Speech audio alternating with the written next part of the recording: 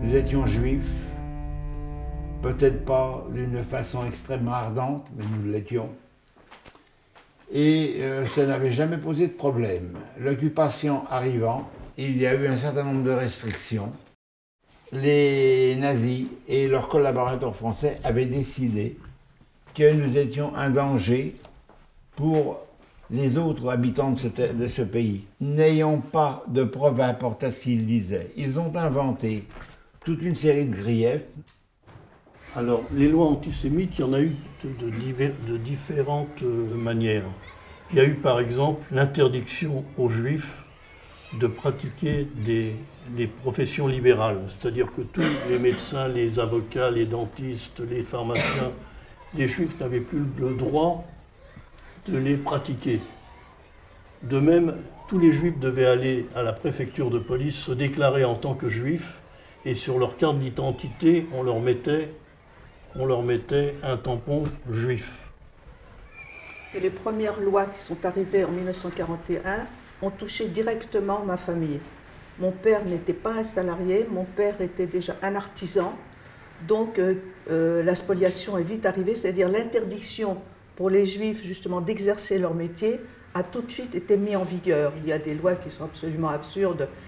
Euh, entre autres, euh, les juifs ont le droit de jouer à la loterie nationale, mais s'ils gagnent, ils n'ont pas le droit de toucher leur lot. voyez Jusqu'où allait euh, la, spoliation, ce que l'on peut appeler vraiment la spoliation, ces lois anti-juives. D'ailleurs, les squares qui ont été interdites aux juifs, pour moi, ça a été quelque chose de catastrophique. Je jouais tous les jours dans ce jardin, dans ce square, et le jour où je suis arrivée avec euh, l'abomination de, cette étoile jaune, euh, le, gardien du square, c'était pas un policier, c'était un gardien de square qui m'a dit Ah non, toi tu rentres pas. Parce que j'avais étoile jaune, c'était écrit interdit aux juifs et aux chiens. Et là, je me suis sentie euh, euh, différente à ce moment-là. Lorsque j'avais mon étoile à la récréation, ils étaient tous autour de moi en, en train de se moquer. Et ça, ça m'a beaucoup fait souffrir. C'était une souffrance morale, mais c'était déjà un début de souffrance que nous allions connaître un peu plus tard.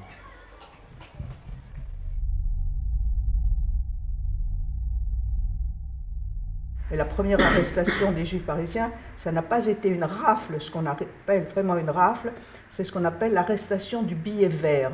C'est-à-dire que ça a été sur convocation.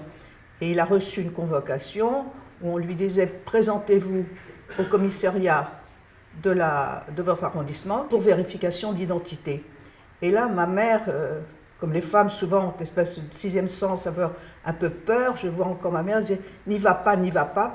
Et mon père dit à ce moment-là mais qu'est-ce que je risque? J'ai fait mon service militaire en France et euh, je risque rien.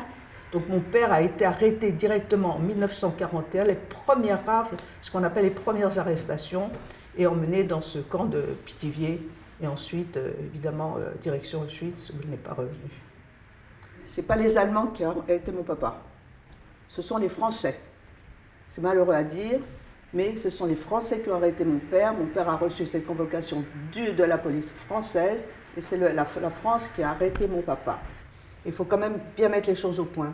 C'est que de toute l'Europe, j'ai bien dit dans toute l'Europe, les Juifs ont été arrêtés, ont été massacrés, mais c'est en France où on a sauvé le plus de Juifs. Et ça, il faut que vous le sachiez. C'est une gloire pour la France, c'est un honneur pour la France. C'était le 15 juillet 42, la veille de la rafle du Veldiv qui avait lieu à Paris. Moi, j'habitais en province avec mes parents. Et ce soir-là, à 8 heures, on était à table, ma mère et moi. Et là, on a entendu un camion qui rentrait dans cette rue et qui s'est arrêté devant notre porte. Et dès qu'on a ouvert, ils se sont engouffrés dans notre appartement. Et la première chose qu'ils ont demandé à ma mère, où est Monsieur Peraya? Ma mère, qui savait pertinemment où il était, a commencé par dire je ne sais pas parce qu'elle se doutait bien qu'on ne lui voulait pas forcément du bien. Et l'officier allemand ne s'est pas démonté, qui parlait français, a dit à ma mère Vous allez aller chercher votre mari, je vous donne un quart d'heure. Si dans un quart d'heure vous n'êtes pas de retour, l'enfant, l'enfant c'était moi, l'enfant que vous, que vous voyez là, vous ne le reverrez pas, car nous partirons et nous l'amènerons avec nous. Elle a été le chercher et je suis resté seul pendant un quart d'heure avec ces soldats allemands qui parlaient entre eux. Et j'étais terrorisé parce que j'avais l'impression d'avoir affaire à des gens, ils étaient très grands. Et moi j'étais assis encore à table, je baissais les yeux, j'avais peur même de les regarder. Mais moins d'un quart d'heure après, ma mère et mon père sont revenus et ils ont dit à mes parents, c'est un contrôle d'identité, on vous amène avec nous, vous, mais aussi votre femme et votre enfant, et dans 48 heures, vous serez de nouveau chez vous. Donc on a pris très peu d'affaires personnelles, comme ils nous l'ont conseillé, et petit à petit, ce camion s'est rempli de toutes les familles juives de Saint-Nazaire qui ont été arrêtées ce jour-là dans cette rafle, et ça a été le début de notre euh, internement. Ah, la rafle du Veldiv. C'était une abomination. Donc le 16 juillet 42, oh oui, je m'en souviens très bien. Et il est 6 heures du matin, et on tape à la porte, et là, euh, il y a deux policiers qui, euh, ma mère ouvre et ils disent, ben voilà, on vient arrêter votre mari. Et ma maman dit, bien écoutez, il a déjà été arrêté, il est déjà parti de Pithiviers, de Pithiviers, il est même parti en destination inconnue, on ne sait pas où. Et eux, sans se démonter, on dit, ben c'est pas grave, c'est vous et vos enfants. Ils avaient des listes, ils savaient très bien que mon papa n'était plus là. Et euh, là, j'ai vu ma maman, qui était une maîtresse femme, qui avait l'habitude d'avoir du personnel euh, sous ses ordres, qui, qui perdait jamais son sang-froid. Et là, elle s'est battue avec eux. Elle a pris tous les meubles, tout ce qu'elle a trouvé de bibelots et tout, elle leur, elle leur a lancé à la figure. Bon, évidemment, ça ne servait strictement à rien. On nous a emmenés comme des malpropres, comme des criminels. On a dit à ma maman, préparez des affaires et de la nourriture pour euh, plusieurs jours. Et on est arrivé dans ce stade, donc il y avait cette atmosphère glauque qui était là. Et il y avait des gros projecteurs avec des micros. Et on nous a déversés dedans. Ils ont vidé les hôpitaux, ils ont vidé les hospices. Il y avait des femmes qui accouchaient. Ça a été l'horreur totale. Vous ne pouvez pas imaginer, c'est l'odeur qu'il y avait qui est intraduisible. Donc euh, on est resté quelques jours. Combien de jours Pour moi, ça m'a paru une éternité. Je ne peux même pas vous dire combien de jours ça a été. Et euh, ils s'appelaient des gens, ils ont fait des listes. Et jusqu'à jour, on a entendu notre nom. Et on nous a descendus, relais autobus. Et là, direction la gare d'Austerlitz. Le surlendemain de notre arrestation, alors qu'on devait être libéré, on nous a transférés à Angers il y a eu un officier allemand qui parlait français, qui a pris la parole et qui nous a dit, vous êtes réunis par famille, à partir de maintenant, vous allez vous séparer. Les hommes vont aller d'un côté, les femmes vont aller d'un autre côté, et les femmes et les enfants vont rester sur place, là où elles sont. Mon père m'a pris dans ses bras, m'a fait donc des recommandations de rester avec, près de ma mère, de la protéger, le cas échéant, et il m'a regardé profondément dans les yeux. C'était un regard euh, dont je me rappelle encore, ou peut-être pensait-il que c'était la dernière fois que nous nous voyions. Et ce fut effectivement la dernière fois que nous nous sommes vus, puisque ça a été un des rares convois qui sont partis de province. Et ce convoi est arrivé à Auschwitz. Il y avait environ 850 personnes dans ce convoi, que seulement 15 personnes étaient rescapées de ce convoi. Toutes les autres personnes, dont mon père, sont morts à Auschwitz. Vous êtes à Drancy, dans un camp de concentration. Il y avait beaucoup, beaucoup de monde à Drancy, mais dès qu'il y avait 1000 personnes déportables, eh bien, ils partaient dans un convoi. Il y a eu environ 80 convois qui sont partis de Drancy. Et il y avait des catégories à Drancy qui étaient des catégories privilégiées, il y avait d'abord les demi-juifs, c'est-à-dire les gens qui étaient nés d'un père catholique et d'une mère juive, ou d'un père juif et d'une mère catholique. Il y avait également les conjoints d'Ariens, c'est-à-dire les hommes et les femmes qui étaient mariés avec un catholique. Ces gens-là, dans un premier temps, ne partaient pas en déportation. Il y avait également les citoyens italiens, les citoyens espagnols, les citoyens roumains, les citoyens hongrois, enfin toutes les nations qui étaient alliés des Allemands pendant la guerre n'étaient pas déportables. Et il y avait une autre catégorie qui était les femmes de prisonniers de guerre. Et nous, quand nous sommes arrivés à Drancy, ma mère et moi, on ne faisait partie aucune de ces catégories-là, et on devait donc, a priori, partir par le prochain convoi de déportation. Tout le monde essayait d'échapper à la déportation. Et on a rencontré donc un cousin de ma mère qui, lui, était marié avec une femme catholique et qui a été voir une femme de prisonnier de guerre et qui lui a demandé à cette femme de prisonnier de guerre de raconter en détail la vie de son mari, c'est-à-dire où il a été mobilisé, quel était le numéro de son régiment, où il avait fait la guerre, où il a été fait prisonnier. Et ma mère a appris par cœur ce que racontait cette femme de prisonnier et a fait croire aux Allemands que notre père, mon, père, était euh, prisonnier de guerre. Et les Allemands l'ont cru. Et grâce à ce stratagème, on a été enlevé des listes de gens qui partaient en déportation et on a été mis avec les femmes de prisonniers et on est resté ici à Drancy grâce à ça pendant 20 mois. 20 mois après, ils nous ont déportés à Bergen-Belsen. Bergen-Belsen, pour vous le situer, c'était près de Hanovre et c'est là où il y avait Anne Frank. Un convoi de déportation, les Allemands préparaient un train de wagons à bestiaux. Des wagons à bestiaux, ce sont des wagons qui habituellement sont destinés à transporter du bétail. Donc, il n'y a pas de fenêtre, on voyage dans l'obscurité, il n'y a pas de chaise, il n'y a pas de table. On, mettait dans ces wagons environ 80 personnes. L'hiver, il n'y avait pas de chauffage, bien sûr, donc il faisait très froid. Et l'été, au contraire, il n'y avait que deux petites bouches d'aération de chaque, de chaque côté du wagon.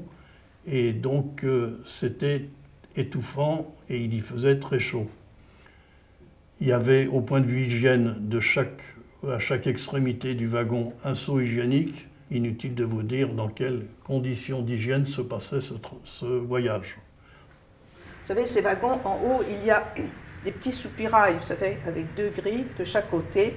Bah, c'est à la hauteur des naseaux des chevaux. C'est pas fait pour les, les enfants, ni pour les, les, petits pour respirer. Puis il fait lourd, il fait chaud, puis on est serré dedans, je sais pas combien on était, puis on peut pas se tenir. Et là, j'entends maman qui crie et qui crie Prenez un enfant dans les bras, faites-le respirer à tour de rôle. Et je me souviens avoir été soulevée plusieurs fois, tournée dans ce wagon, qu'on était serré comme tout, mais pour pouvoir respirer. Voilà comment était ma mère. Ma mère a été une mère courage. Elle a fait autre chose aussi. Elle décide, avec son courage, d'envoyer un petit mot à des voisins non juifs euh, que l'on connaissait, en leur disant voilà, on a certainement été arrêté arbitrairement, faites quelque chose. Bon, elle écrit ce petit mot, je la vois, elle l'écrit sur le dos. Elle le roule comme une cigarette, vous savez, dessus.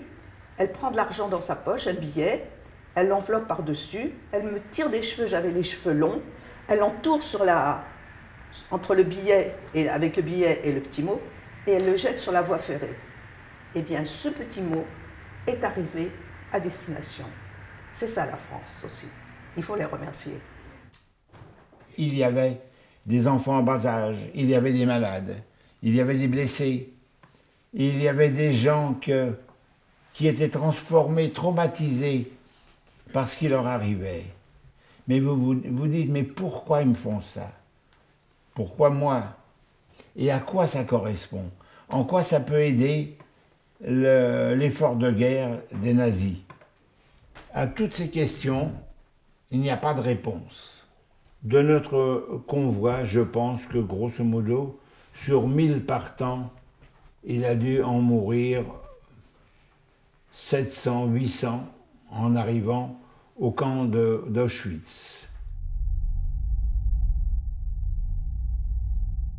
Des camps, ça signifie des chiens, et on n'avait pas des chiens. Des gardiens absolument devenus fous du travail qu'ils faisaient, et on avait peur des gardiens. Nous nous sommes trouvés perdus. Et n'oubliez pas aussi que nous n'avions, dans mon cas, nous n'avions que 16 ans. Un camp, c'est un endroit où on n'a pas de carte d'identité. Par contre, j'ai un bras. Mon bras est tatoué. Comme les vaches, les veaux, les chiens. Nous étions dans la situation de ces animaux. On les marquait aussi au cas où ils s'évadaient pour une raison ou pour une autre. On pouvait les récupérer, on savait où ils étaient. Nous, c'était la même chose. Il n'y a rien de plus dégradant, rien de plus difficile de penser qu'on n'a pas plus de valeur qu'un lapin. Non, c'est quelque chose. Et pourtant, j'ai eu la chance, mon, tatouage a été discret. J'ai d'autres camarades qui ont été euh, tatoués sur le front. J'en ai connu au moins un. Je suppose qu'il a été tatoué ainsi parce qu'il avait essayé de s'évader, ou je suppose. Mon numéro à moi, c'était A17594. Et lorsque je rencontrais à l'intérieur du camp des SS montant la garde, je devais me mettre au garde à vous et leur réciter mon numéro. C'est pas très facile quand on est français de réciter un numéro en allemand. C'était un camp non pas d'extermination, il n'y avait pas de chambre à gaz, et ça a été notre chance, c'était un camp de travail, un camp de concentration. Et donc on est resté dans ce camp pendant un an environ, et là les souffrances ont été terribles. Au point de vue nourriture, nous avions des pommes de terre, mais des pommes de terre comme on les fait en Silésie, c'est-à-dire qu'elles étaient dures et filandreuses comme euh, des tas d'aliments pour bestiaux. Il y avait de même des carottes qui suivaient le même traitement. Il n'y avait pas de sucre, il va de soi, pas de vrai café. Pendant trois ans, je n'ai pas vu un fruit, je n'ai quasiment pas vu un bout de viande, et euh, lorsque nous avions euh, de la viande au camp d'Auschwitz, c'était une viande déjà avariée. C'était pas très ragoûtant de voir cette viande marron avec des filets verts dessus. Et pourtant, il y en a qui ont mangé. Et je crois bien que j'en ai mangé aussi. Ma plus grande souffrance, ça n'a pas été la faim, ça a été le froid. Tous les jours, à Bergen-Belsen, il y avait ce qu'on appelle l'appel. Et il se trouve que l'hiver 44-45 a été un hiver très rigoureux. On a eu des températures à Bergen-Belsen de l'ordre de moins 15 et moins 20 degrés. Et quand on est mal couvert, quand on est mal nourri, et qu'on reste pendant des heures immobile, sous la pluie, sous la neige, dans la boue, mal habillé, mal chaussé, j'avais l'impression que la moelle dans mes os se figeait tellement j'avais froid. Les membres se raidisaient et il fallait rester au garde à vous pendant des heures en attendant que les Allemands daignent venir nous compter. Et quand les Allemands enfin se décidaient à venir, à venir nous compter, si pour une raison ou pour une autre vous bougiez ou vous faisiez quelque chose qui semblait leur déplaire, ils vous tiraient des rangs et ils vous donnaient des coups de matraque, des coups de, bottes, des coups de pied, des coups. Et, et ils vous laissaient pour mort par terre. Et ça faisait partie de notre, de notre quotidien de voir tous ces morts alignés par terre. Et puis de, de ces souffrances qui nous étaient causées par la faim, par le froid, par la peur, par les coups, et des conditions de vie exécrables qui avaient pour résultat de nous déshumaniser. On n'était plus vraiment des êtres vivants. On n'avait plus de nom, on avait un numéro de matricule. Et puis, on n'avait plus de sens moral. Il y a eu des scènes de cannibalisme à Bergen-Belsen. Il y avait des déportés qui avaient tellement faim, qui allaient sur les cadavres, qui leur ouvraient le diaphragme, qui sortaient le foie, le foie et le mangeaient. Pour arriver à ces extrémités-là de, de, sauvagerie, il ne faut plus être vraiment des hommes. Et on n'était plus vraiment des êtres humains nous avons trouvé vraiment ce qu'il y a de plus horrible, l'abandon de l'espoir. Je crois qu'on se considérait comme abandonné du monde, et à la vérité, nous l'avons été. On ne s'est pas intéressé à ce qui nous arrivait. Le soir, en rentrant du travail, fatigués comme nous l'étions, affamés, sans, possibilité de faire quoi que ce soit, ça nous aurait aidé véritablement s'il y avait eu une main consolatrice qui, qui nous avait essuyé le visage. Oui, je crois que... Je crois ma mère, qui m'a le plus manqué. Et sur les autres, vous n'aviez pas confiance. Vous n'aviez pas confiance parce que quand quelqu'un a faim comme nous avions faim, qu'il est fatigué comme nous étions fatigués, vous ne pouvez pas connaître les réactions qu'il aura cinq minutes après le moment où vous l'aurez rencontré. On a vu arriver, nous, à Bergen-Belsen, en janvier 1945, les rescapés des gens qui avaient fait la marche de la mort. Et on a pu, à travers les barbelés, discuter avec ces gens-là. Et c'est là où on a appris l'existence d'une chambre à gaz à Auschwitz. Mais jusque-là, jusqu'en janvier 1945, bien qu'on était dans un camp de concentration, on ne savait pas qu'il y avait l'extermination par, les chambres à gaz. Certains gardaient l'espoir. Moi, par exemple, tant que j'étais à Bergen-Belsen, je, faisais des projets d'avenir. Je disais quand je serai grand, je disais quand je serai libéré, je gardais l'espoir. Parce que vous savez, quand on n'a pas l'espoir, quand on n'a pas envie de vivre, quand on renonce à la vie, on meurt très rapidement. J'ai ici quelque chose qui pour moi est le summum du courage d'un homme. C'est un peigne.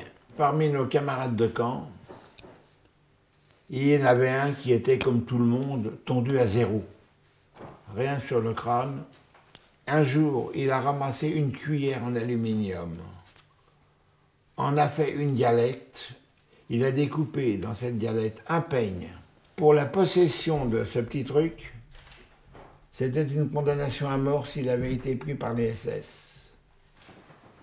Ça, c'est peut-être la, chose la plus émouvante que j'ai vue en mes trois ans de camp. La foi dans la vie d'un homme qui sait que demain ou après-demain ou jour d'après, il ne sera plus là. Et certains, comme moi, en tant qu'enfant, je gardais l'espoir d'une libération un jour. Ça n'a pas duré, car comme je vous l'ai dit, on était des otages pour les Allemands. Et les otages, ils voulaient les préserver, ils voulaient les utiliser.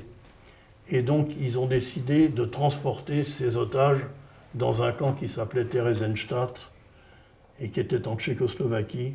Et on nous a entassés dans des trains, dans des trains de wagons à bestiaux. On a appelé ce train le train fantôme car il n'était pas prioritaire. Il circulait sur les voies allemandes, mais il y avait les transports de troupes, les transports de munitions qui étaient prioritaires par rapport à notre train. Il a erré là pendant 15 jours, 3 semaines. Et dans ce train, on était sans manger et sans boire. On était dans le train, dans ce wagon à bestiaux, on essayait de dormir, ma mère et moi. Et ma mère, à un moment, a bougé. elle a gêné la personne qui était à côté. C'était un Hollandais qui était près d'elle. Quand ma mère l'a réveillé par inadvertance, qu'a fait ce Hollandais Il n'a rien trouvé de mieux que de battre ma mère et de la rouer de coups.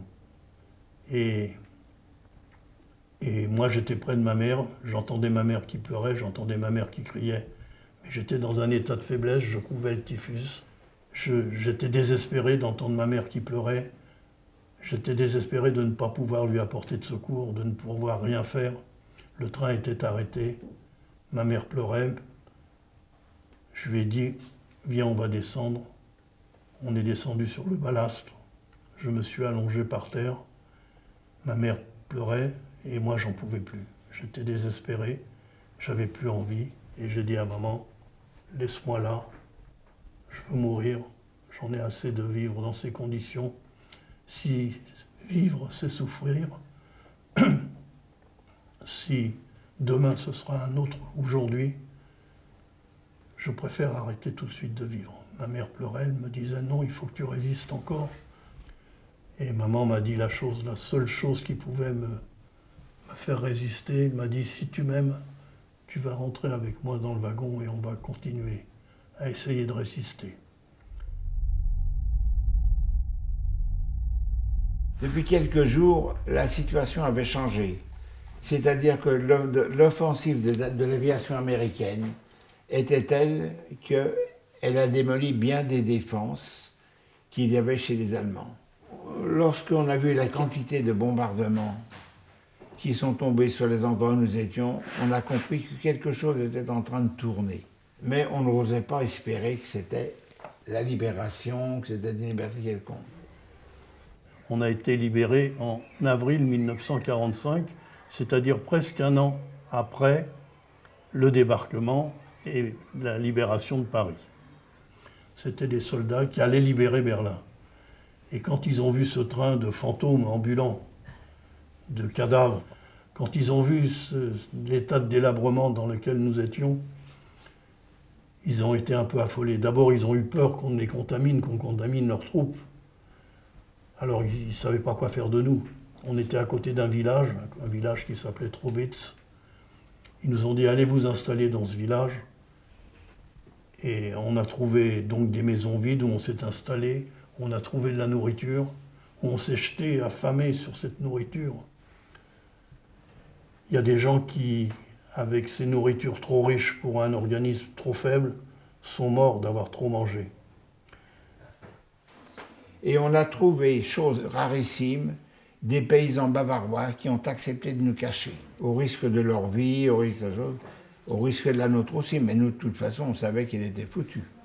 Et nous sommes restés trois jours cachés dans des bottes de foin. Et le troisième jour au matin, nous avons vu la réponse. Le fermier qui nous avait cachés est venu euh, gueuler dans le couloir qui amenait à l'endroit où nous étions cachés. Les Américains, les Américains. On a su à ce moment-là que la guerre est terminée. Quand on a vu nos premiers soldats américains, c'était des hommes normaux. Mais nous, on les croyait des géants. Je faisais 1m60 pour 29 kilos. C'était pas trop quand même. J'ai sauté dans les bras du premier qui était devant moi et euh, je l'ai embrassé. Vraiment, il était pour moi le symbole d'une liberté vraiment. Et lui était devait être un, peu enquiquiné avec un paquet comme moi sur les bras. Et il me répétait sans arrêt, pleure pas petit français, pleure pas. Ça, ça a été mes premiers mots d'anglais et je les ai compris. Et la guerre a été finie ce jour-là. Et le 29 juin 1945, on a été rapatriés. Et les Français, eux aussi, pensaient qu'on pouvait contaminer les gens, donc avaient réquisitionné l'hôtel Lutetia à Paris pour accueillir les déportés, le faire passer une visite médicale. Et puis pour les autres, ceux qui n'étaient pas malades, on leur donnait une veste, un pantalon, une paire de chaussures et 100 francs et on les lançait dans la nature. Il faut dire que les gens ne s'attendaient pas à nous voir comme nous étions. Personne n'avait dit, que, leur avait dit à quoi on ressemblerait. Personne ne leur avait dit non plus ce qu'on avait souffert. Et ceux qui avaient lu quelque chose dessus ne le croyaient pas obligatoirement. Ça a l'air dingue, ça a l'air incroyable qu'on construise des bâtiments uniquement pour faire mourir les gens, qu'on veille à ce que dans chaque bâtiment, il puisse y avoir tant de chambres à gaz qui, chacune d'entre elles, fait mourir un millier de personnes. Ce pour lequel il faut pas tout à fait une demi-heure de, travail pour les faire mourir. Ça se raconte pas. Les gens n'y croient pas. Les gens n'étaient pas prêts à nous accueillir. Les gens en avaient marre de la guerre. Ça a été une période très difficile parce que on n'est pas comme les autres. On a un passé. Et ce n'est pas l'habitude d'un enfant d'avoir un passé. Et on n'était pas en état vraiment de résister. Euh, à cette nouvelle vie après trois ans d'internement. Et la réinsertion a été très longue et difficile. Et on a eu du mal à se reconstruire et à retrouver une vie normale. Nous, nous avons été obligés d'essayer d'oublier. Et pendant 40 ans après notre libération, on n'a pas pu parler. Et comme je ne pouvais pas parler, j'essaye de rattraper le temps perdu de ces 40 ans où je n'ai pas parlé et où je n'ai pas transmis aux jeunes générations ce devoir de mémoire que je, que je devais transmettre, eh bien maintenant j'essaye de rattraper le temps perdu et je témoigne le plus souvent possible.